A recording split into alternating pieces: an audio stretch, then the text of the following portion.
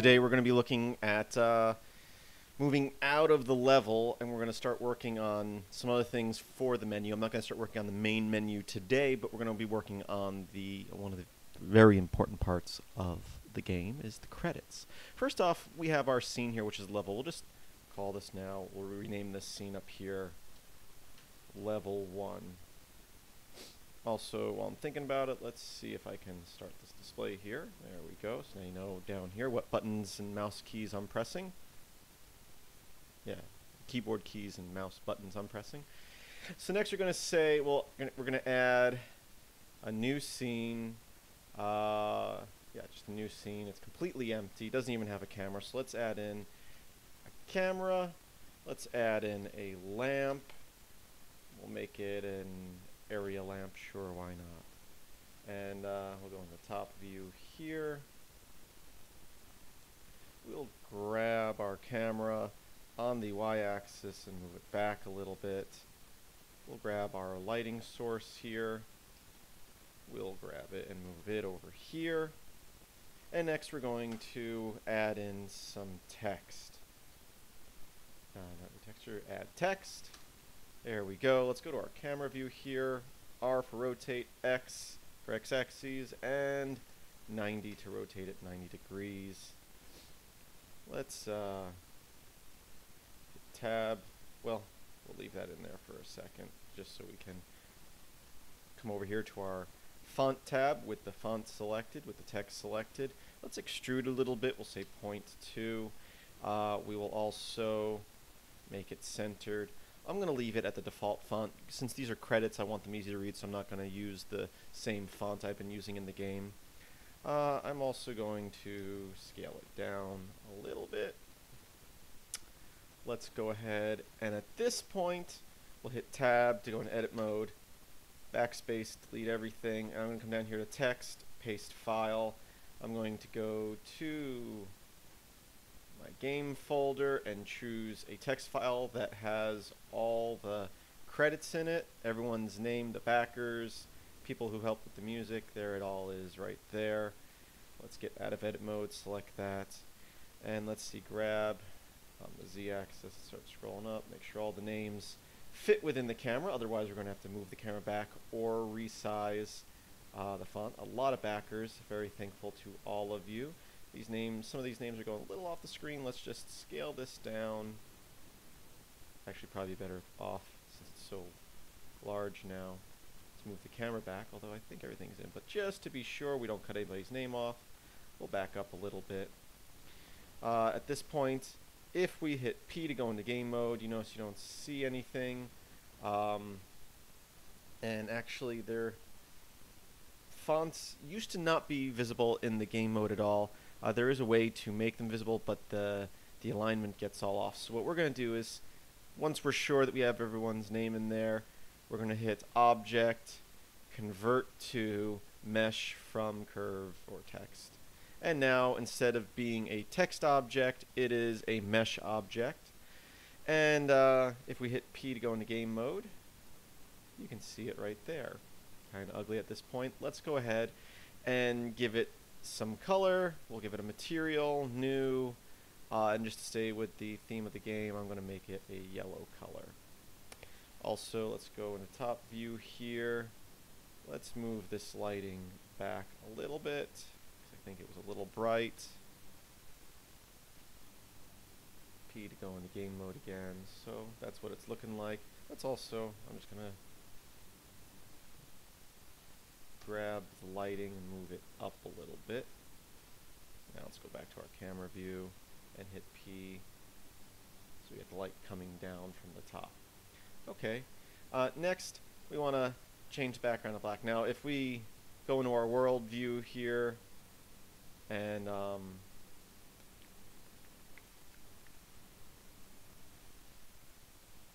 add a texture, and we hit P, you'll notice that, oh, it does turn black. I was thinking it wasn't going to for some reason. Well, good for us. I was going to uh, put a plane back there was black, but now I don't have to do that. Okay, next step is the animation of all this. So first things first, let's uh, grab our text mesh here.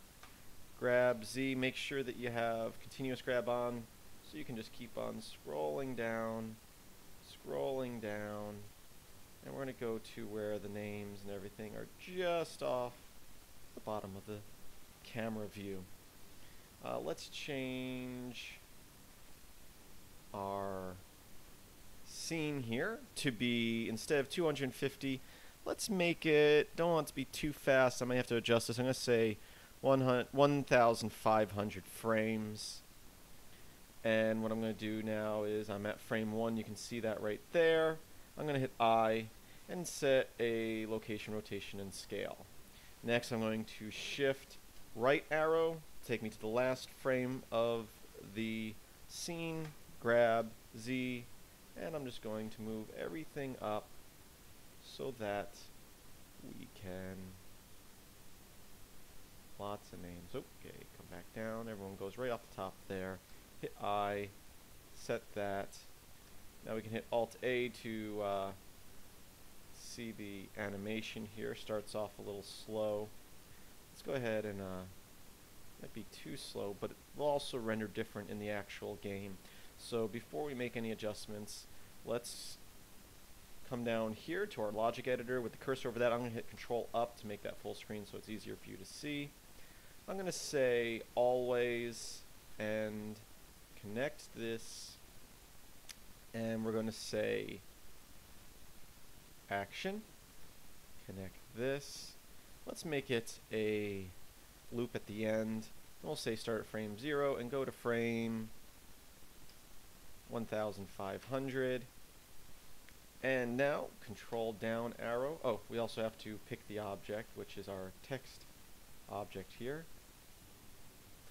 And uh, if we hit P to start up game mode, let's see how this is looking. And right now the animation's kind of on a curve, so it's going to start off a little slow and kind of speed up after a little bit, and then slow down towards the end. But it's uh, looking good to me so far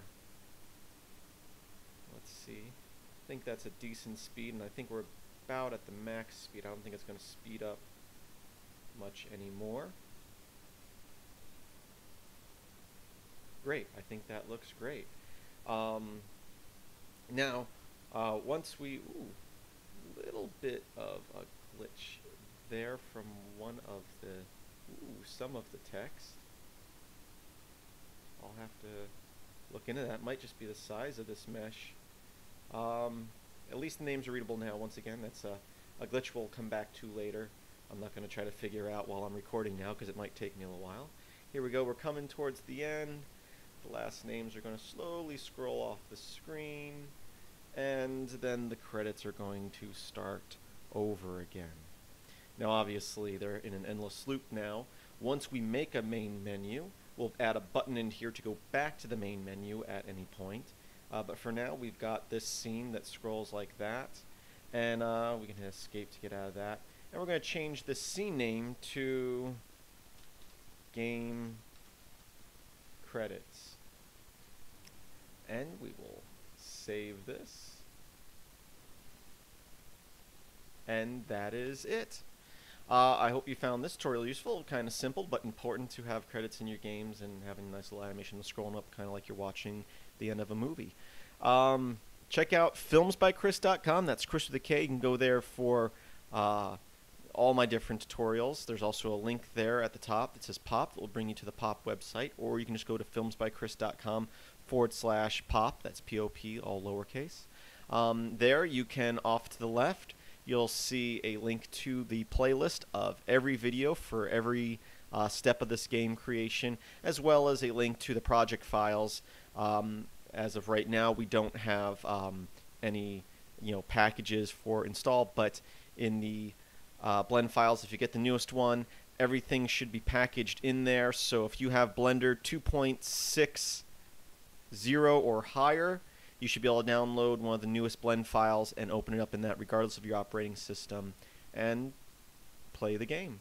So I thank you for watching and I hope that you are having a great day.